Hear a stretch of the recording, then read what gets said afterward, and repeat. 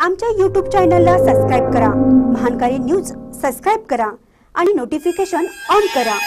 Notification on केल्यामुळे आमचे update आपल्यापर्यंत सतत पोहोचेल. सिद्धरामय्यांना डोक्याचा भाग नाही. येडियुराप्पा गरजले. कर्नाटक निवडणुकीत भाषिक वाद उफाळणार. मुख्यमंत्री सिद्धरामय्या यांनी मराठी भाषिकांची माफी मागितल्याने येडियुराप्पा चांगलेच भडकले असून सिद्धरामय्यांना आता कन्नडिगांची माफी मागावी अशी मागणी केली आहे. कर्नाटकच्या रणधुमाळीला आता भाषिक वादाची किनार मिळाली आहे.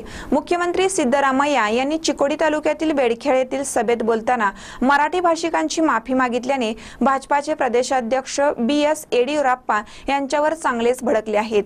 मराठी भाषिकांची माफी मागून सिद्धरामय्या यांनी कन्नडिगांचा अवमान केला आहे.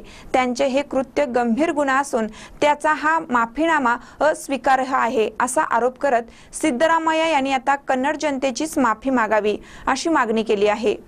प्रचंड संतापलेले येडियुरप्पा यांनी सिद्धरामय्यांना डोक्याचा भाग नाही अशी व्यक्ती आणखी काय बोलणार? ते काँग्रेसचे कर्नाटकमधील शेवटचे मुख्यमंत्री ठरणार आहेत. असं बाकीत करत राज्यामध्ये भाजपाला सरकार स्थापन करण्याएवढे बहुमत मिळेल असा आशावादही त्यांनी व्यक्त केला. महानकर न्यूजसाठी इंगळीहून राजू कोळी.